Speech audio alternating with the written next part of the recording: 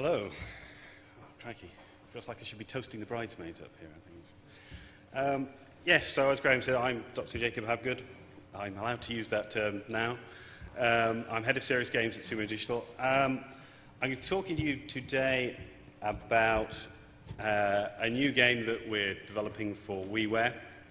But um, first, I'm going to give you a bit of background on, on us and, and what we're about. So, Sumo Digital are a, a work-for-hire console developer. Um, we work with big companies like Sega, Konami, Sony on across the sort of range of, uh, of console platforms. Um, we've got around about 120 developers now in Sheffield. And we, many of those developers go back to the uh, bygone days of, uh, of Gremlin graphics in, uh, in Sheffield for people that remember those days. Uh, these days, we're part of a, a, bigger kind of conglomeration of game developers, uh, uh, largely in America. Um, and it's around about sort of 900, 1,000 people worldwide in this group. And as a group of developers, we probably develop a lot of the games that um, you're familiar with, but we, we're generally the, the people who develop for the publisher. So they come to us with a, a piece of IP like Sega Superstars Tennis, and we make them a tennis game. And, you know, we've worked on you know, Outrun, Virtua Tennis, Track and Field, big titles for big names. But you may not necessarily heard of Sumo because we're, we're sort of developing for the, the publisher themselves. Now, my background is with Gremlin. Um, I, as uh, Graham was saying, used to work on uh, PlayStation games back in the day. Uh, from a technical background, I, I was a PlayStation programmer. I, I was a, a, a lead programmer as well on various projects. But I decided um, in about two, 2003 that I should um, go back to university and look at this whole idea of games and learning. And I mean, for me, back then, it, it didn't seem like a, a particularly uh, sexy thing to do. I mean, these days there are big conferences and everything. But back then, uh, most of my friends thought me I was pretty, uh, pretty insane to do that. Um, but I met some nice people at the University of Nottingham, and um, uh, they gave me a scholarship to to study the effective integration of digital games and learning content. And I talked a little bit about my PhD yesterday for those of you that uh, were able to attend the session. Um, I'll, I'll briefly cover some parts of it today, but if you want to find more information about that, there's a website there, zombiedivision.co.uk, that you can visit. Now, in my role as head of serious games at Sumo Digital, um, most of the work that we've done so far has been linked to hobbyist game development. So um, while I was doing my PhD, I was fortunate enough to co-author a book with Mark Overmars, the creator of Game Maker, um, which became quite successful and is being used in schools around the country. Um, and so we've done a, a fair bit of work with uh, different publishers, helping them develop uh, their own game development tools for kids. But as, as yet, we've not developed any specific learning products, learnings that products that have educational goals yet. So, uh, traditionally, um, or these days, um, there are starting to come console products, uh, starting to come, uh, sorry, these days edutainment products are starting to come to console platforms. And uh, these tend to be developed by smaller developers, perhaps make ends meet whilst chasing the big publishing deal, and not necessarily companies which have an expertise or passion for learning. At Sumo, we're a large developer. Um, we have a great track record with uh, console game development, and large publishers really do beat a path to our door. They want to work with us. Um, but we also have a passion and expertise for game-based learning, my own background uh, as a PhD in cognitive science, but also, I mean, many of my colleagues have children these days and, and are really interested in creating products which can uh, improve them as well. So we're perfectly positioned to branch into learning-based console products. And in order to kind of uh, show that, we've, we've decided to create a showcase game that illustrates, I think, perhaps the way that the games industry might try and approach creating uh, learning games. So we're creating a fairly modest game. Uh, it's a self-funded title um, for WiiWare, which for those of you that don't know it, it's uh, downloadable content on your Wii. You go online, you can put in your credit card details, buy points, download games, um, called Outnumbered. Um, and I'm going to talk uh, at some length about the design of that game uh, today. So, really, the philosophy behind this is very much anti-edutainment. Um, when I went back to university, that, that was really what I was interested in.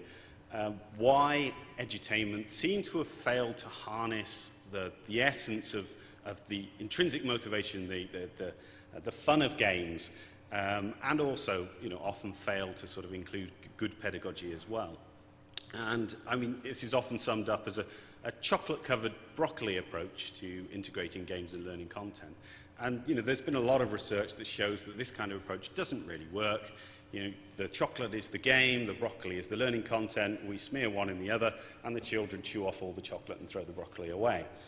Um, and, uh, you know, a good illustration of that, um, I think I saw recently, um, and I, I don't normally like to single people out, um, but these people make fantastic um, uh, adventure games. I don't know if you've seen them.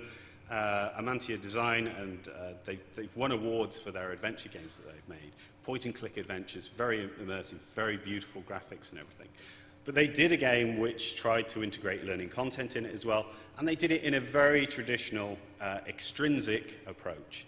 They had a bunch of questions which you answered um, at various points in the game, and then you carried on with the game. There was no real link between the learning content and the game. It was simply chocolate-covered broccoli. And I was interested when I went back to do my PhD in whether more integrated approaches from this could be more effective for learning. And we did a, a, range of studies based on a game called Zombie Division, a game which I built during my PhD, in which you, you fought skeletons um, and divided them by using different weapons that you had. Um, and in order to do this, we did proper psychological, uh, randomly controlled experimental trials using uh, um, a comparison between an integrated approach uh, in which skeletons had numbers on their chests and you divided those skeletons using uh, different attacks. Um, and an extrinsic approach where those skeletons had symbols. So you can see on the left, left-hand side, we've got the extrinsic approach where the skeletons got the symbols. On the right-hand side, we've got the, um, the numbers.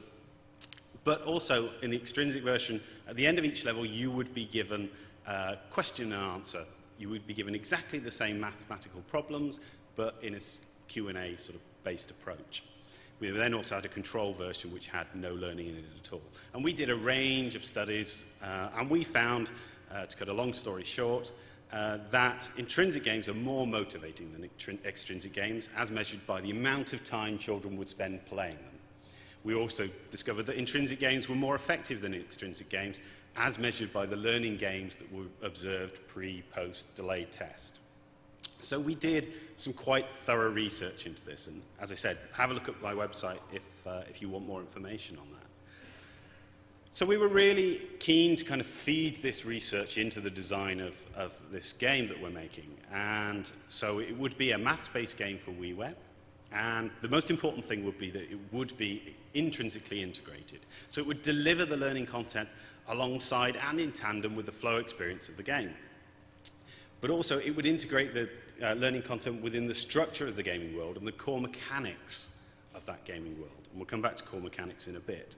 But hopefully, by explaining the game design to you, you'll understand more about what I'm talking about here. But also, I mean, there's some more general things. We, we, we wanted to be un, unpatronizing and unapologetic in our design approach. Kids are generally quite aspirational. We didn't want to produce something that was kind of very, looked very kiddie. So we designed sort of for big kids, ourselves essentially. And safe is dull, zombies, monsters, explosions are great fun.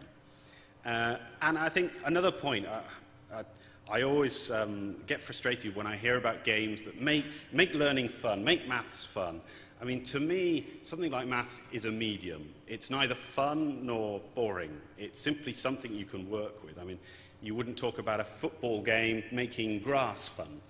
Um, so all games are about learning something. And the fact that in our game this happens to be mathematics should be almost entirely irrelevant to the player. It's just a medium to work with. So the pedagogy behind this um, is based on a, a, range of research in mathematics as, as well as our own. Um, and it, it's about connections in mathematics. So we wanted to cover learning content that's very traditional, addition, subtraction, multiplication, division. Um, and yes, we wanted to get children to practice um, in, in, this area, but Um, we felt that you know, conceptual and procedural knowledge, so knowledge about concepts and knowledge about sort of more sort of practice-based uh, learning in mathematics needed to be developed alongside each other. And we wanted to go beyond rote learning. So we wanted to embody meaningful relationships between knowledge, um, which is essential for understanding. It's, it's not about addition or subtraction or multiplication and division as separate things. It's about how those things come together, about the relationships between them. And I think if you say look at a game like brain training, uh, or sorry, or even uh, maths training, uh, you know, it's teaching you how to do some of those things separately, but it's not necessarily making a connection between the different learning content. And the whole idea of anchored instruction, I mean, I think this, uh, this is very relevant to um, Derek's work, actually. I, I think uh, th th there was some work done um, by Bransford and the University of Vanderbilt um, some years ago now, looking at using uh, films as a, as a real-world anchor for learning. And you show kids films, and they would, then they would build all sorts of activities around those films that were educational. I think that's very close to what uh, Derek and his, his fantastic teachers are doing. Um, but also, to some extent, that's what we're trying to do with something like this. So we are building a world in which mathematics is relevant um, to, to a fantasy, not a real world situation, but nonetheless to the kids, that's as real as, uh, you know, they are certainly in, still interested in that, uh, that world. So the basic concept, a uh, bit of spiel here, um, maths can be fatal, especially if you're a monster. Attach your brain to your wand arm and get ready to cause some serious mayhem as you defend your wizard's home against an army of magical beasts. So, um, outnumbered, uh, this is the kind of screen layout that you're presented with. As I said, you know, it's a WiiWare title. These things retail for kind of less than a tenner, sometimes only £3.50. You download them direct to your console. There's no box or anything. The budget that we've kind of got to put into this is not massive. Uh, so we've, we've gone for a 2D game. Rather than the Zombie Division, uh, which would have been a, a kind of 3D environment, that was too expensive to look at. So we've looked at a, a 2D alternative here. But in doing so, we've also been able to get some extra features in. So I think uh, it, it, it's worked out quite well. So I'm going to talk about the core mechanics, because so far I've, I've talked about you know, integrating mathematics into a gameplay, but I really want to illustrate how we're trying to do that. Um, and I can't really do that without explaining some of how the game is designed. And for those that haven't really had too much contact with the uh, games industry, this idea of core mechanics may not be particularly familiar to you. Um, and there's a definition here, mechanism through which players make meaningful choices and arrive at a meaningful play experience. I mean, you can kind of summarize core mechanics as the rules of the game, but it's a, it's a bit deeper than that. Um, so there are four main mechanics that we use in the game. They create the, the basis for the mathematical play in the game, and then we try and mix up uh, the mathematics so that you get all sorts of different relationships between those basic mechanics. So the first game mechanic is playing with goo. Um, the game is based around magical mana. Um, this comes in two flavors. Monsters, which you've seen on the previous slide, um, are made of bad mana, while the Wizard's Tower, your home, uh, attracts good mana to it. So you get little clouds around your, um, your dwelling, um, which have hanging from it this, these gloops of, go of good mana. And bad mana can be neutralized with good mana. So monsters die when you reduce their bad mana exactly now to zero, and you just simply fling it at them, it sticks to them, and once their mana is reduced to zero, they die. However, if you overshoot, that, all that mana falls off and you start again. So you've, you've got to think about where you're aiming for, about the numbers that you're subtracting, and about how you reduce that exactly down to zero. The second core mechanic, monster grow bags. So you can create your own good monsters. You can drop mana onto a monster grow bag and it will form its own good cloud. You can fill it up to the desired value by repeatedly adding mana, and then you can drag your own monster out of this grow bag and place it onto the landscape. It will wander off down the landscape towards the enemy monsters and uh, defeat any bad monster in its value with an equal value and take out any enemies behind it as well. So at the beginning of the game, throwing goo is subtraction. Growing monsters is addition. And mixing up the color of goo is absolutely fine. However, at some point in the game, you are introduced to monsters which are pure evil. monsters which are pure evil can only be defeated by pure good mana, i.e., you can only use a single color of goo against them. So now we've changed the mechanic, and throwing goo actually becomes division by repeated subtraction, because you have to keep using the same value until you've reduced it down to zero. Growing monsters becomes multiplication by repeated addition, because you have to keep adding the same value to build up your um, monster. Then, as things progress, we start to bring magic into play. It wouldn't be a wizard based game without a bit of magic, and ultimately, repeated subtraction is, is a very slow way to divide a monster. So, you can use magic to speed that up, and any value of blob can be powered up to be a divisor. And those divisors, if they will divide the number uh, uh, exactly um, into a whole part, then it will kill that monster. And you have a range of different blobs of different colors that represent different kinds of attacks. You have a fire based attack, an ice based attack, and a lightning based attack.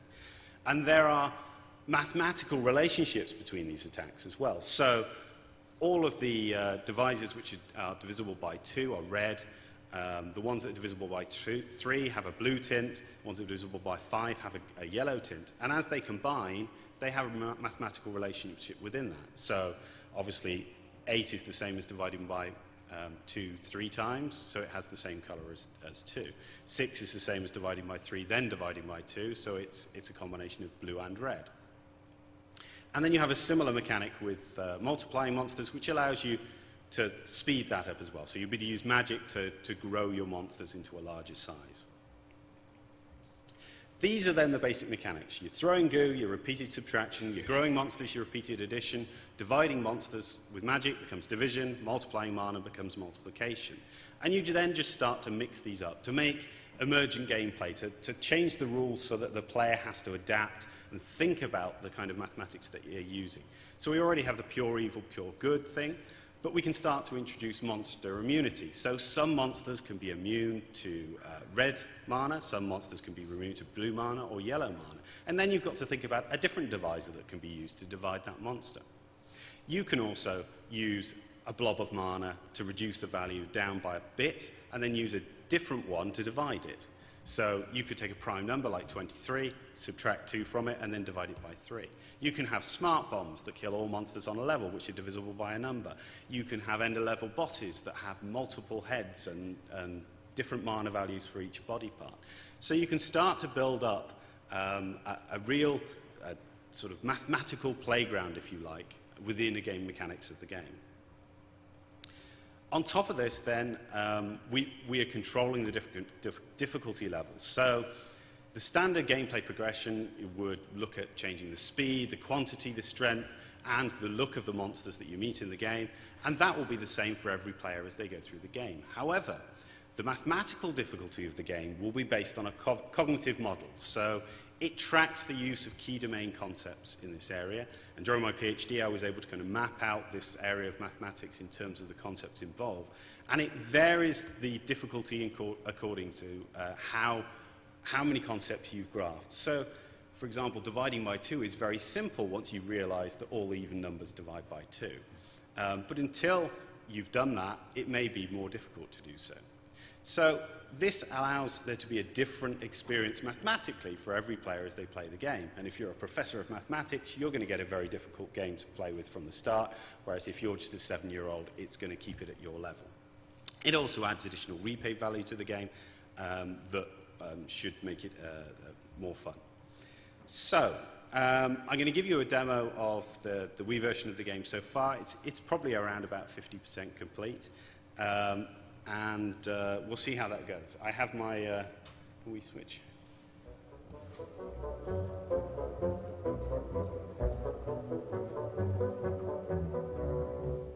Right, okay. So as I do this, I, I'm not actually facing the screen, so I have my Wii sensor bar at some kind of strange angle, which makes it quite difficult to control. Uh, we'll, uh, see how well I do. So this is our mana kind of globular. We can throw it around and play with it a bit. Um, and then as our, we're in a straight line, we can start to hit monsters with it like this. And I can mix up my mana. Uh, I can reduce this one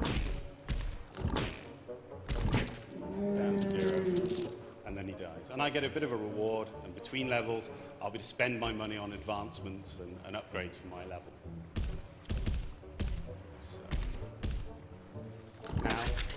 If we keep throwing mana at our monsters until it uh, we exceed the value, it all falls off and starts again. So we have to go back to scratch and we have to divide that, uh, we have to reduce that exactly down to zero. Now, when it comes to using magic, obviously magic's a lot quicker. We can simply turn a, uh, a blob into a fireball, and we can blow one up like that. And you can use a range of different uh, attacks, so can subtract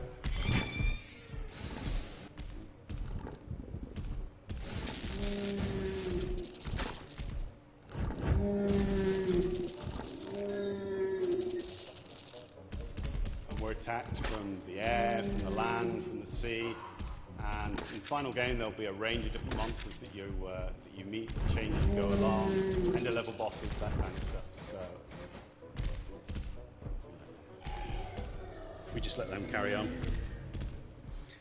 So uh, this is a game that will be coming to WiiWare in the summer of 2009. It's going to be a very cheap title. It's sort of somewhere between 500 to 1,000 Wii points. It might cost you anything from sort of £3.50 upwards. But we hope that it will sort of act as an example of, of good game design and, and a good application of learning within a, a game-based product. Thank you very much.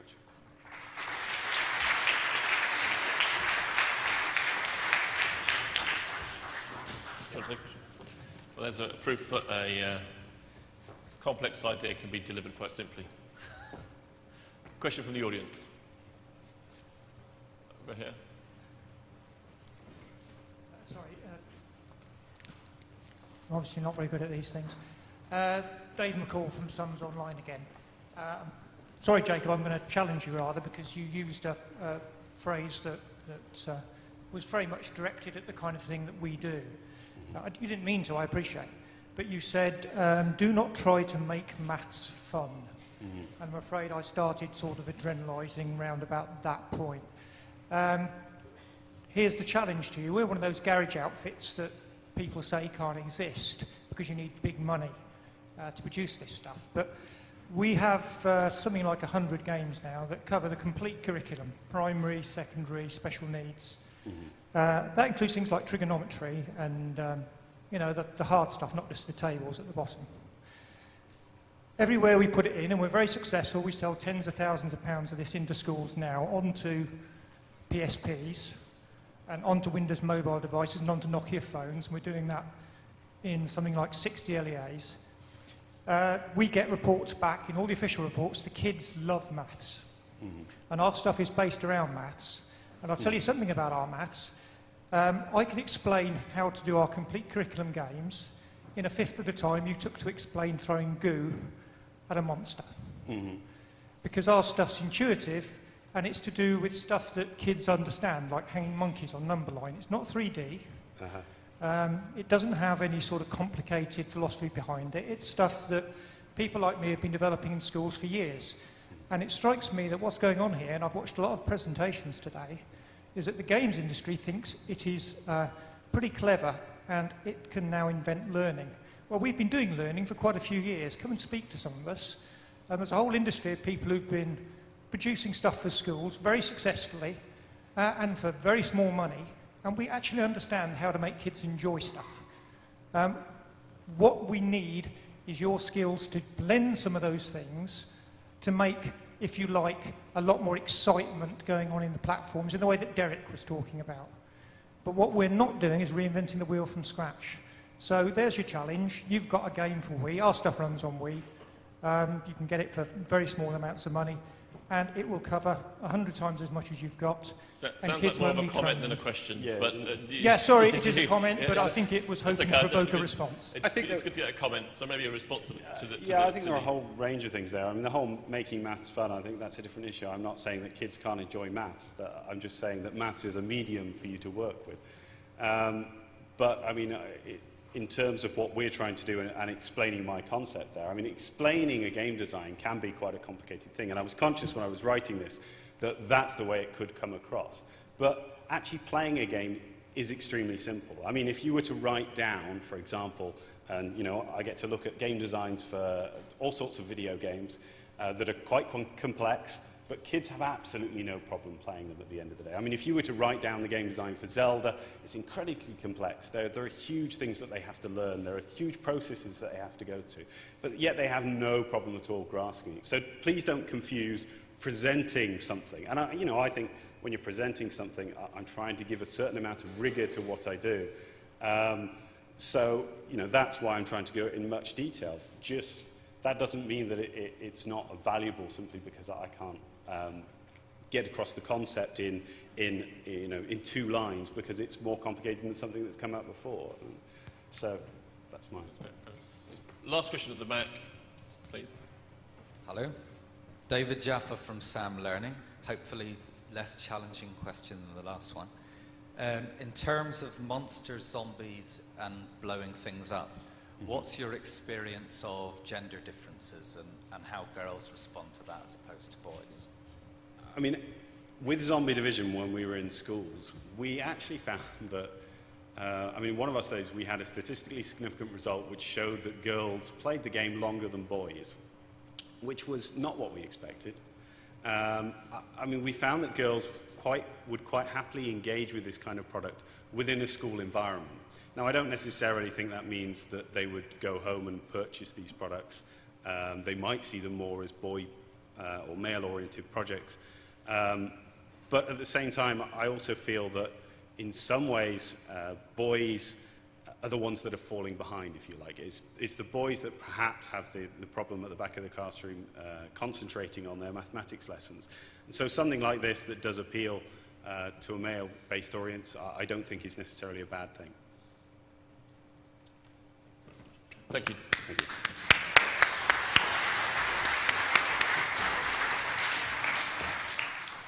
because